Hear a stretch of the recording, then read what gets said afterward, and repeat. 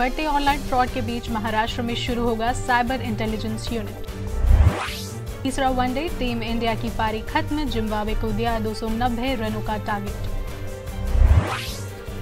दिल्ली में बीजेपी का operation lotus fail हो गया, केजरीवाल बोले। राजस्थान यूनिवर्सिटी में पुलिस और छात्रों के बीच घमासान, लाठीचार्ज में कई घायल। पाकिस्तान में इमरान खान को इस्लामाबाद हाईकोर्ट से मिली जमानत। शाहनवाज हुसैन को सुप्रीम कोर्ट से राहत, एफआईआर दर्ज करने के आदेश पर लगाई रोक। अरविंद केजरीवाल के आवास के बाहर बीजेपी कार्यकर्ताओं का विरोध प्रदर्शन। सुप्रीम कोर्ट ने भारतीय फुटबॉल संघ प्रशंसकों की समिति भंग की दिल्ली में आंध्र प्रदेश के सीएम जगन मोहन रेड्डी ने पीएम से मुलाकात की।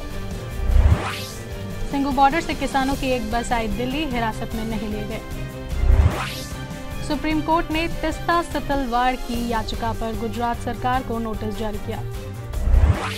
शिवसेना एमपी संजय राउत की ईडी हिरासत बढ़ी अब 5 सितंबर तक कस्टडी में रहेंगे। यूपी में दिल्ली यमुनोत्री हाईवे पर ट्रक कार में टक्कर, एक परिवार के छह लोगों की मौत। किसान महापंचायत दिल्ली के अलग अलग बॉर्डर पर लगा जाल आप तोड़कर बीजेपी में आ जाओ, सभी सीबीआई ईडी केस बंद करा देंगे, सिसोदिया का आरोप।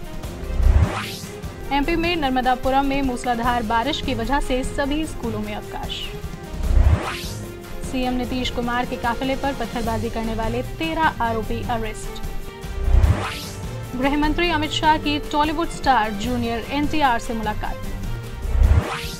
जम्मू कश्मीर के त्राल में 10 से 12 किलोग्राम आईडी बरामद, बड़ी आतंकी घटना चली ओडिशा में बालासोर और मयूरभंज चक्रवात की चपेट में बड़े स्तर पर रेस्क्यू जारी।